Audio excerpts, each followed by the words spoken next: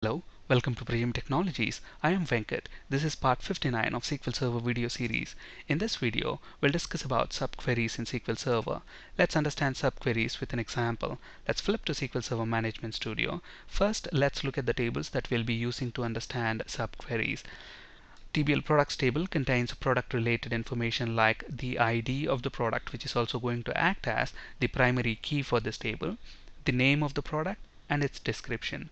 TBL product sales table contain product sales data. Every time we sell a product, an entry will be made into this table.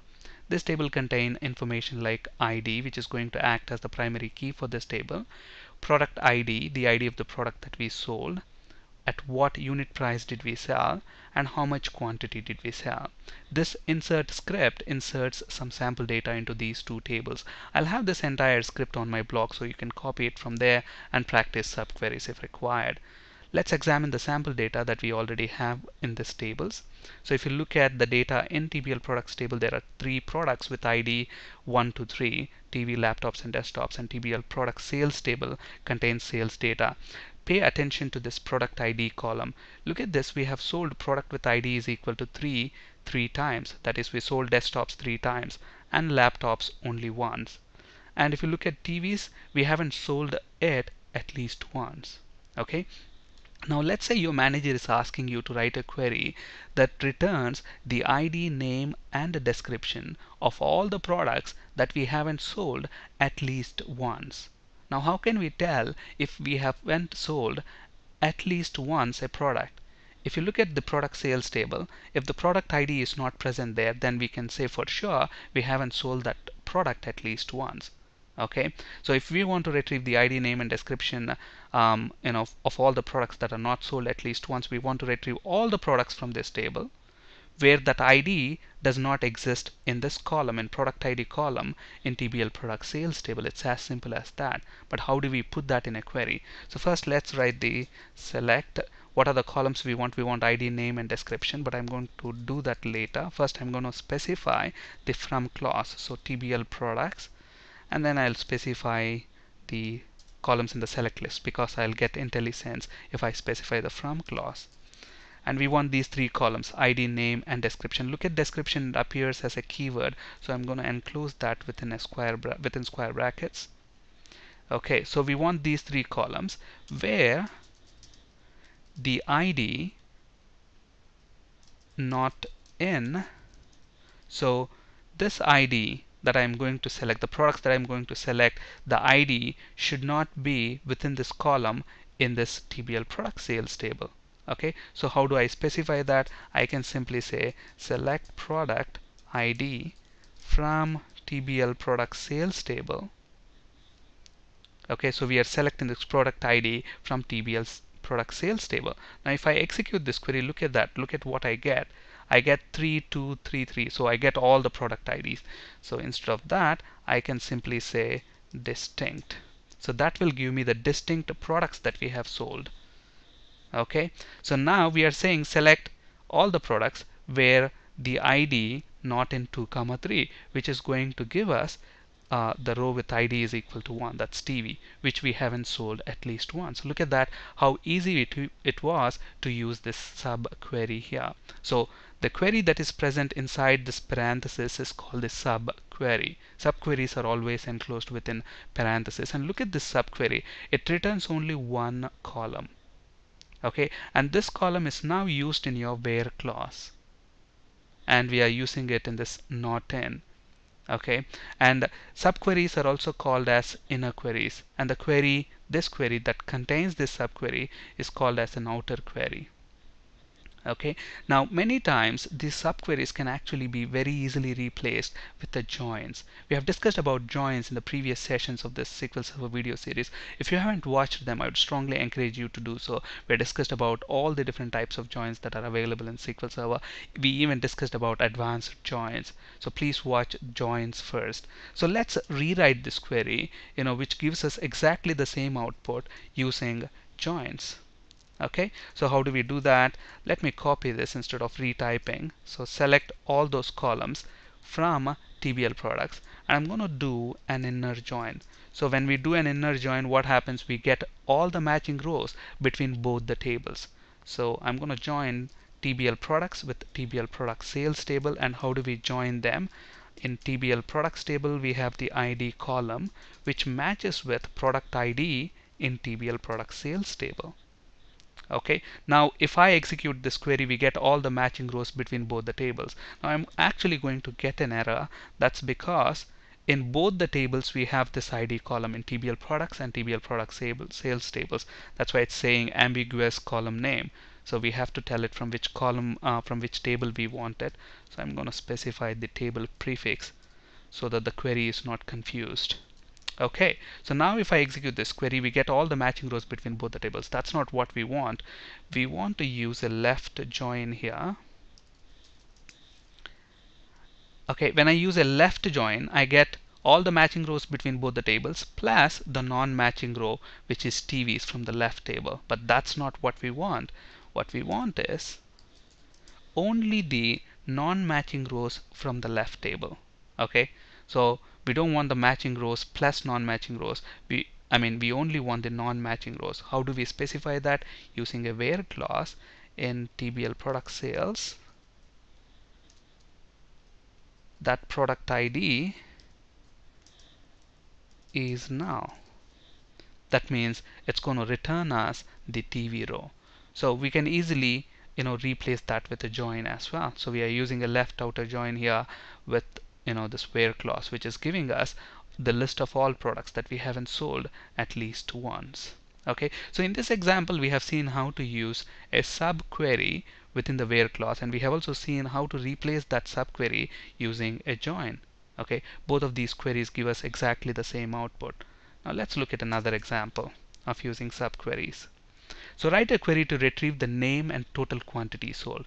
Now let's say I want the name of the product. So if you look at these two tables that we have, I want the name of the product and the total quantity of each product that we have sold. So if you look at the quantity sold, how many laptops did we sell? 7 laptops. And how many desktops did we sell? Uh, 9 plus 4, 13 plus 5, 18 uh, desktops we have sold okay TVs we haven't sold any. So I want to retrieve the name of the products and total quantity we sold. And we want to do that using a subquery. Let's see how to do that. In this example we have seen how to use a subquery in the where clause. In this example we'll see how to use a subquery in the select list. Okay? So what do we want? We want the name of the product. So first let me write from um, TBL products table. What we want? We want the name of the product and then what else we want? We want the total quantity that we have sold okay? So I'm going to use the sum aggregate function okay? But then I'm going to use a subquery. So anytime we want to use a subquery the first thing we do is we open up and close a parenthesis and within that we write the subquery. So select what do I want? I want sum of so let's get rid of that sum. Sum of what do I want? I want quantity sold so first let me write the from clause so that I'll get some IntelliSense there. So quantity sold. So sum of quantity sold from TBL products. And then we have to use a where clause where product ID because we don't want the sum of all the products. We want to specify for which product you want. Okay? For now I'm going to use the question mark. We'll fill this what which is the product ID for which we want the sum of the quantity sold in just a bit okay? And then give this one an alias so as qty sold quantity sold from TBL products. Okay? Now what I'm going to do here look at this. I have this TBL products. From this table I want the name and from this table I want the total quantity sold okay? So but then when I select a product from this table for example when I select TV I want to immediately come to this table for all those product which has got this TV uh, you know which is nothing but the ID ID is 1 so for all the products you know for all the products that has ID 1 sum the quantity sold and then retrieve that. I have to specify that in this you know where clause. So how do I do that? Simply specify TBL products dot id so anytime you select a product you know for example if I select this TV its ID is 1 it looks up that here and then if there is a match it is going to add the quantity sold and returns that as quantity sold. Okay? So let's execute this query and see what we get. Look at that 7 laptops 18 desktops TVs we haven't sold any. And then if you want to order that by product name we can simply say order by name of the product okay so here we are using a subquery inside a select statement in a select list. Okay let's see how to replace this again using a join. Again that's very easy to do. Okay so we have to know how to use group by and joins here. So I'm gonna copy this query just to save some time in typing. So select what do we want? We want the name of the product and we want the total quantity. So sum of quantity as total quantity or quantity sold from TBL products and I want to do a left join with TBL products sales table on this. You know the join condition is the same. And the important thing is we have to use group by because we want to group by name and then sum their quantities. So group by name. Okay so we discussed about joins in the in the previous sessions of this video series. So I'm not going to go into the details of joins now here. So all I want to show here is um, you know we can replace subqueries with joins. Okay look at that. I get the same output. Okay desktops 18 laptops 7 and TVs null Similarly, the same output here, 187 null. So most of the time, the subqueries can be very easily replaced with joins. Okay, so today we have seen how to use a subquery in the where clause and how to use a subquery in the select clause. Subqueries are always, so what are subqueries? From these examples it should be very clear that a subquery is simply a select statement that returns a single value and that can be nested inside a select, update, insert or delete statement. We have seen how to nest a subquery inside a select list and inside the where clause. Similarly we can um, you know have that in a delete or in an update statement or even in an insert statement. It is also possible to nest subquery inside another subquery. So here we have a subquery here. This is the subquery. Okay. Now you have a where clause here. So here you can have another subquery if you wish to okay so a subquery can contain another subquery. That subquery can contain another subquery. So this way we can nest subqueries up to 32 uh, levels according to MSDN and subqueries are always enclosed in parentheses and we have seen that and are also called as inner queries. And the query that contain the subquery is called as outer query. The columns from a table that is present only inside a subquery cannot be used in the select list of the outer query. This is important again. So we have the subquery here for example if you look at this one. So this is a subquery. Now if you look at this TBL products sales table this up this table appears only within this subquery.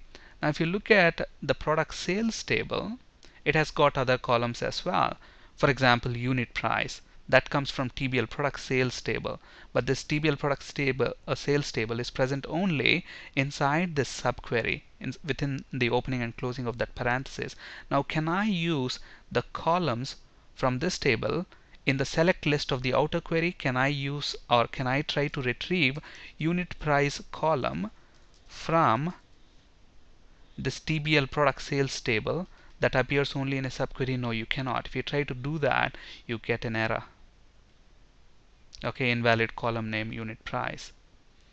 So the columns from a table that is present only inside a subquery cannot be used in the select list of the outer query. Now we have seen that we can achieve the same result either by using a subquery or a join.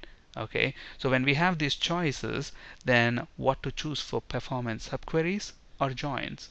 Okay we'll talk about the performance aspect in the next video session on this slide, you can find resources for ASP.NET C Sharp and SQL Server interview questions. That's it for today. Thank you for listening. Have a great day.